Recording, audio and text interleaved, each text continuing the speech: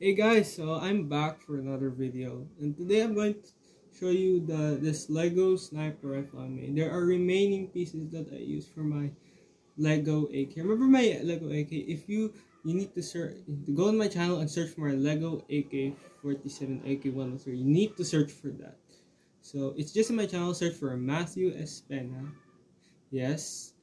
And then you go for that picture which which has the little M with the arrow on the uh, just just search for Matthew Smith and yeah, just go search for it. And you can also, you know, you can also follow me on Instagram. Yeah, you can look for my, you know, you just, just look for an Instagram, Matt that with the picture of me doing this, doing this picture, doing this, you know, that kind of style. So Um, the gun. There's remaining pieces of the AK, but I've.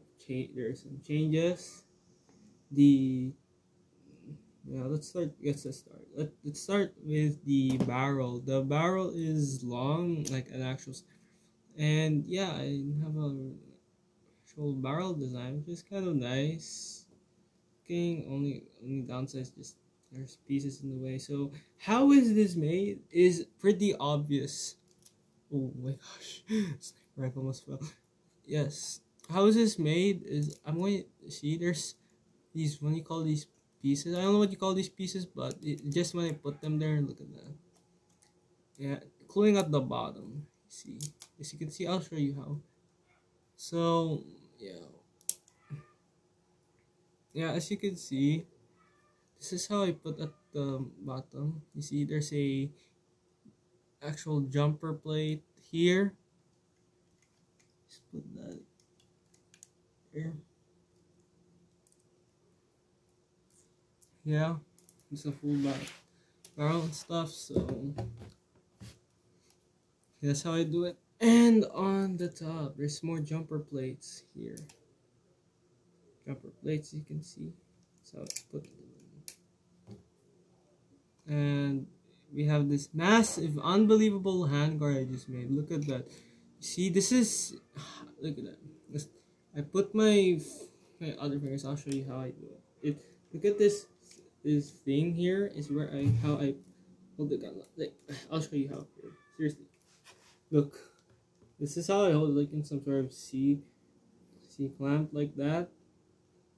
I can aim and stuff.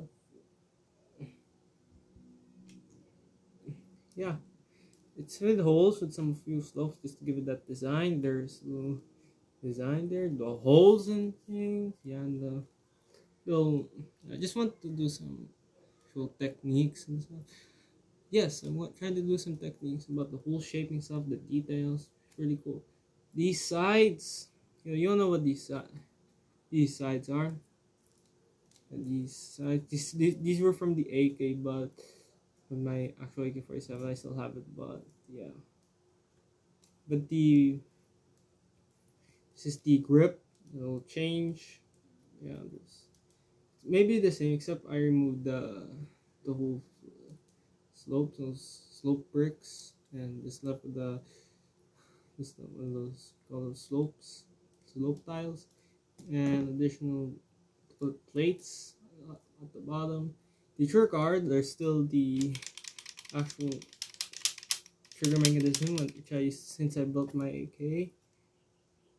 The magwell, this is the whole magwell which I use in the AK except it has more. And the magazine, I'm so sorry, but the mag is not Lego. It's rather a piece of box. It's accurate. I know this may sound, may, this may look childish, but who cares if this is just a box? I am. This is a some sort of technique I'm learning on. Remember my AK? The mag wasn't wasn't Lego, but rather some sort of rail piece. It kind of looks like an actual AK mag, which is good. See, this is a. This is supposed to be an an an oil pastel box, but I put some paper and some lines just to give it that rifle sniper rifle, you know, sniper rifle. And yeah, I'm sweating. So this is the trigger guard, which is loose. Yeah, it's wobbly. You can see the rubber band. and I have there is tape because the magazine or the I mean the magwell is very loose. Yes, very loose. The edge we have some slopes and then our slopes again. We have a scope. The scope isn't Lego also, but look at the scope. The end there is nothing. There is no hole. This is this scope was broken. You can see you can tell by the tape here. Yeah, there's tape. This was supposed to be for my for my Armalite gun, but it's broken. And someone broke the stock. Yeah, someone broke the stock of my gun. It wasn't me. So, this gun is looking nice. I'm getting sweaty here. Kind of sweating. So, have some slopes here. And how did I mount this sniper is pretty simple. I'll show you how. Definitely here is how. You've got this one by one by ten piece and rate and piece of block. To put this how I put it, and including some. If I just put it back. Yeah, it's very hard when you try to put back on. You just have to do do it from the start. I'm sorry, my that chicken is kind of interrupting. So this is kind of hard when you start to put it back. You thought it was simple, but it's not. So I have to remove one of these pieces. And you want to see how this gun looks like with the scope? very, very embarrassing.